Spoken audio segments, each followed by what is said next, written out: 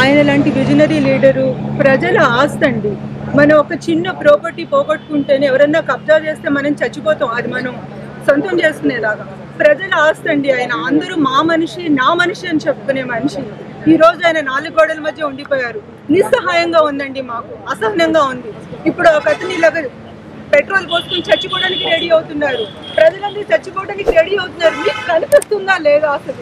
ఈ అధికార పార్టీ వాళ్ళంతా ఏం చేస్తున్నారండి? చాలా అసహ్యంగా ఉంది.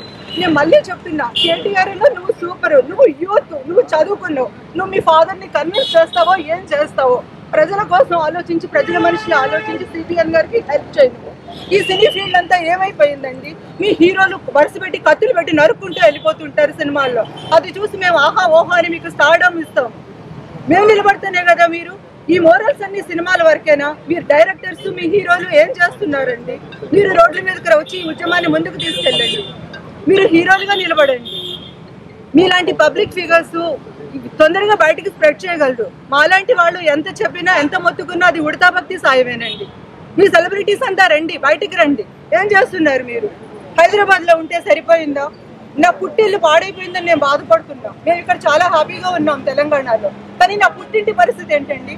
పెళ్ళైన ప్రతి ఆడపిల్ల పుట్టిల్లు కూడా చాలా బాగుండాలని కోరుకుంటుంది. సర్వనాశనం అయిపోయింది. ఎటు చూసినా అరాచకం ఎటు చూసినా అన్యాయం. నోరెత్తితే పోలీసులు అరెస్టులు కొట్టడాలు జైలు ఏంటండి ఇది మనం బ్రిటిష్ పాలనలో ఉన్నామా?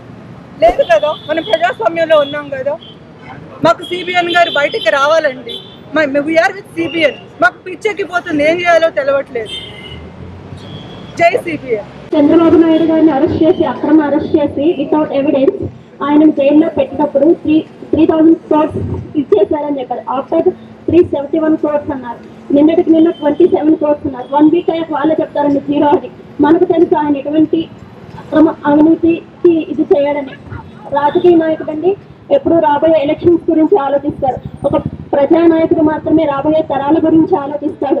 చంద్రబాబు నాయుడు గారు ఎప్పుడు రాబోయే ఎలక్షన్స్ గురించి ఆలోచించడండి. రాబోయే తరాలకు ఏం చేయాలని ఆలోచిస్తాడు. ఒక్కసారి ముఖ్యమంత్రి అయితే వంద తరాలకు దోచిపెట్టే ఈ ప్రజెంట్ ఉన్న ముఖ్యమంత్రి ఎట్లా? ఒక్కసారి ముఖ్యమంత్రి అయితే పది తరాలకు ఉపయోగపడే పని చేయాలనుకునే మన చంద్రబాబు నాయుడు గారు ఎక్కడ? So we are always with CBI మేము సైతం